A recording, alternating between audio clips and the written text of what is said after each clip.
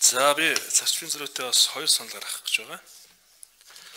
Бид нар бас хүүхдүүдийнхээ ая тухтай суралцах боломжийг бүрдүүлэх ёстой гэж үзэж байгаа. Манай Орхон аймаг Баяндөр сумын 3 дугаар сургуулийн барилгыг буулгаж шинээр барихын ажил эхэлсэн явж байгаа. Нийт 960 мянга орчим хүүхэд маань одоо зориултын бус байранд хичээлж байна. Сэндвичэн байранд. Тэгээ сэндвичэн байранд одоо 2 3 жил дараалан үйлчлэх нөхцөл байдал бий болчиход байгаа юм. Тийм учраас энэ барилгыг эх хонд бол бүрэн дуусгах нь зүйтэй гэж үзэж байгаа. Тэр утгаараа бид нэр хуулийн институт зочмын зөрөгтэй саналыг гаргаж байна.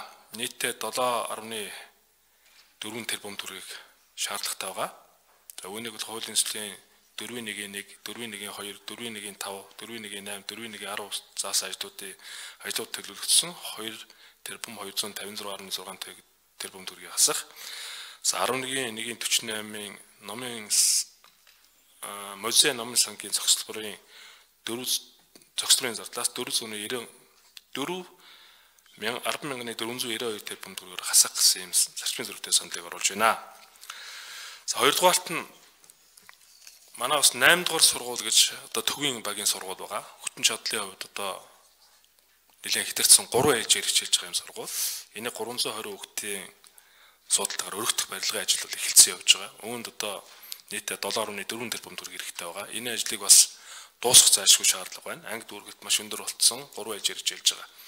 Тийм учраас хуулийн төслийн 11.142, 11.124, 11.116, 11.121, 11.136, 11.130, 11.151, 11.148, 11.110 заасан музейн барилга төлөвлөгдсөн зардлуудыг хасах мөн 19.125-ын спорт салны барилга 500 суудалтай нэг 10,425 тэрбум төгрөгийг хасах за мөн одоо байгалийн түүхийн музейн барилгаас үдэгдэл зардлыг хас тооцохоо гэсэн юм зарчмын зөрүүтэй саналыг оруулж байна.